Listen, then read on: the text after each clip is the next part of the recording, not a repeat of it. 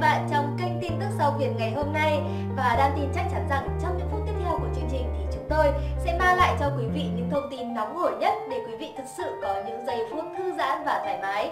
Nhưng quý vị cũng đừng quên nhấn nút theo dõi kênh và bật chuông thông báo để chúng ta có thể cập nhật được những thông tin nóng nhất và mới nhất mỗi ngày quý vị nhé. Còn ngay bây giờ thì mời quý vị hãy cùng nhau đến với những thông tin nóng nhất của ngày hôm nay. Nữ giảng viên Đại học Bách Khoa gây bức xúc bị chỉ trích nặng nề vì chê bai Trường Giang thậm tệ. Việc chê thẳng thần Trường Giang đã khiến nữ giảng viên này bị khán giả bức xúc chỉ trích một cách nặng nề. Vừa qua, tập đầu tiên của chương trình Thách thức danh hài mùa thứ 6 lên sóng, với nhiều tiết mục hấp dẫn thú vị. Như mọi năm, giám khảo của chương trình vẫn là hai danh hài Trấn Thành Trường Giang cùng hot Ngô Kiến Huy. Trấn Thành Để có được tiếng cười cho khán giả, tôi và Trường Giang đã phải khóc thầm nhiều đêm. Mở màn chương trình, hai giám khảo có nhắc nhở các thí sinh mùa thi năm nay về cách diễn hài Trường Giang nói. Lúc nào tôi ngồi đây cũng hồi hộp hết, chúng tôi luôn muốn có những tài năng mắc cười xuất hiện để được trao tiền thưởng và chương trình sinh động hơn. Tôi ngồi trên truyền hình mà không cười nổi với tiết mục bên dưới thì buồn lắm, chứ tôi tiếc gì tiếng cười đâu. Tôi muốn mọi người cười thoải mái, đừng cố gắng gồng gánh làm gì, diễn hài là phải thoải mái. Trấn Thành cũng chia sẻ, để có được những tiếng cười cho khán giả ngồi nhà xem, tôi và Trường Giang đã phải khóc thầm nhiều đêm, không một ai lên đây và tự tin. Nhiều khi mọi người diễn tập cho ban tổ chức coi rất vui, mà lên sân khấu lại bị khớp. Khi họ khớp, chúng tôi không biết làm thế nào để vực dậy tinh thần cho họ, hoặc đang diễn ngon lành mà quá trớn thì cũng đi luôn. Bởi vậy tôi muốn nhắc rằng, bất cứ nghệ thuật nào trên sân khấu cũng lấy được bình tĩnh, nhưng riêng nghệ thuật hài của chúng tôi, nếu bạn không bình tĩnh, không tự tin sẽ không bao giờ có hài. Nữ giảng viên đại học tiết lộ con trai bắt vợ phải theo ảnh Harry Won trong phòng. Thí sinh đầu tiên tham gia chương trình này là cô Ánh Nga, một giảng viên kỳ cựu của trường Đại học Bách khoa Hà Nội. Vừa xuất hiện, Ánh Nga đã thao thao bất tuyệt, nói những điều khó hiểu và nhắn nhủ khá dài tới sinh viên của mình. Tôi là Nguyễn Thị Ánh Nga, giảng viên trường Đại học Bách khoa Hà Nội. Tôi nói thật là khi ngồi ở phòng chờ tôi đã oải lắm, định về rồi. Nhưng nhìn thấy Trấn Thành một cái lại hừng hực khí thế, cảm thấy rất thanh xuân.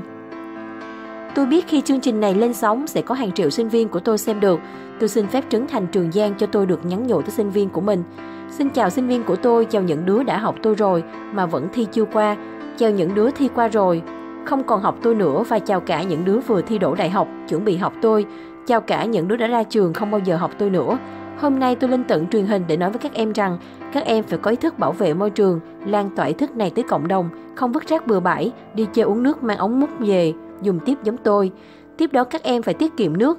Đang tuổi yêu đương không cần tắm nhiều nhưng phải tắm khô trước khi xả nước. Giảng viên Ánh Nga cho rằng việc mình rớt hay không phải là lỗi của mình mà ẩn ý do Trấn Thành hoặc Trường Giang. Cô nói, ngày hôm nay tôi không biết sẽ rớt ở vòng nào, nhưng nếu có rớt thì không phải lỗi của tôi, mà của ai đó thì tôi không biết. Cô bày tỏ một cách nhiệt tình về tình cảm của mình dành cho Trấn Thành. Tôi cực kỳ cực kỳ thích Trấn Thành. Tôi thích Trấn Thành tới mức chồng tôi biết, con tôi biết, các sinh viên của tôi cũng biết. Mỗi đêm trước khi đi ngủ tôi đều bật tiết mục của năm chú tiểu mùa trước lên, không phải để xem họ diễn mà để được nhìn Trấn Thành, nghe Trấn Thành cười, một điều cười cực kỳ sảng khoái, cực kỳ quyến rũ. Giá như ngày hôm nay tôi nghe được tiếng cười đó của Trấn Thành một lần nữa. Không những vậy, cô Ánh Nga còn tiết lộ cả chuyện con trai mình mê vợ Trấn Thành tới mức treo ảnh trong phòng ngủ. Con trai tôi năm nay 30 tuổi nhưng thích vợ Trấn Thành lắm. Phòng ngủ của nó không treo ảnh nó hay vợ nó mà treo ảnh Harry Won. Vợ nó mang bầu 7 tháng rồi mà nó suốt ngày bắt vợ phải ngắm ảnh Harry Won để đẻ con ra giống Harry Won. Tuy nhiên ngay sau đó cô Ánh lại buông lời trê bai Trường Giang một cách thẳng thừng dù anh ngồi cạnh Trấn Thành.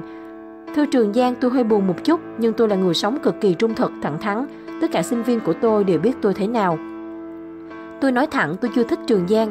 Tôi chưa thích bởi hai lý do. Thứ nhất, với ai đó Trường Giang đẹp trai nhưng với tôi thì chưa. Thứ hai, tôi xem tất cả các live show tiếp một Trường Giang diễn làm MC và thấy rằng cái cô Hàn Quốc Harry Won kia nói tiếng Việt tôi còn hiểu, còn nghe rõ. Vậy mà Trường Giang nói tiếng Việt tôi lại nghe không rõ, thế mới đau chứ. Tóm lại tôi không thích Trường Giang, không biết Trường Giang có thù tôi không. Trời không lấy đi của ai tất cả, có thể trời lấy đi của Trường Giang vẻ đẹp hình thể. Nhưng sẽ cho lại vẻ đẹp nội tâm. Trong lúc chê Trường Giang định nói điều gì đó nhưng cô Ánh Nga không cho nói mà vẫn thao thao bất tuyệt. Sau khi chê chán Trường Giang, cô Ánh Nga tiếp tục quay ra bình phẩm Ngô Kiến Huy. Không hiểu sao thiên hạ lại nói Ngô Kiến Huy có vấn đề về giới tính. Đối với mọi người, Ngô Kiến Huy có thể không rõ ràng về giới tính, nhưng tôi lại thấy cực kỳ đàn ông. Vì cô Ánh Nga nói quá nhiều Trấn Thành phải thốt lên. Nãy giờ mà thi là phải được 7 vòng rồi đấy, còn Trường Giang thì nhắc cô ơi, còn gì tinh tế thì để dành để thi. Cô Ánh Nga đáp, trong người tôi vẫn bận thế thôi chứ tôi cực kỳ kinh tế luôn.